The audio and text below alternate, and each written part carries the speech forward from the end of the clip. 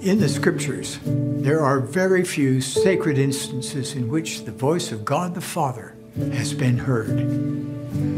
So when he says something, we really need to listen.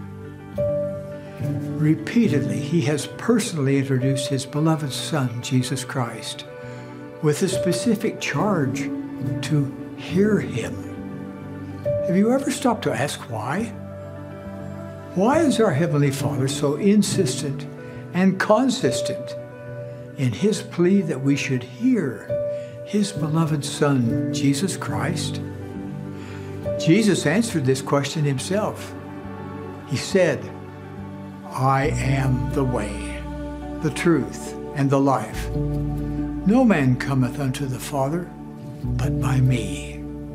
Our Father loves us and yearns for each one of us to choose to return to His holy presence.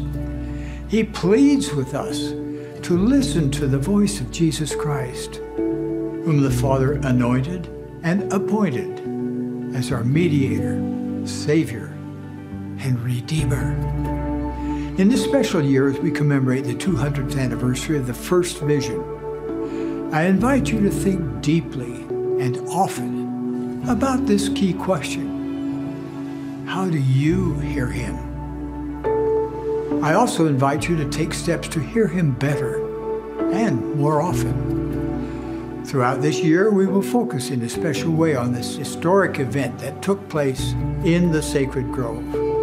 I invite you to be proactive and look for opportunities to share your feelings about the Lord Jesus Christ with your family and friends including inviting your friends to join you in worshiping Him on Easter Sunday.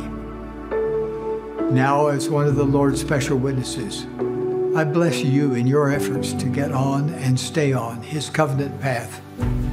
And strive with all your heart, might, mind, and soul to hear Him.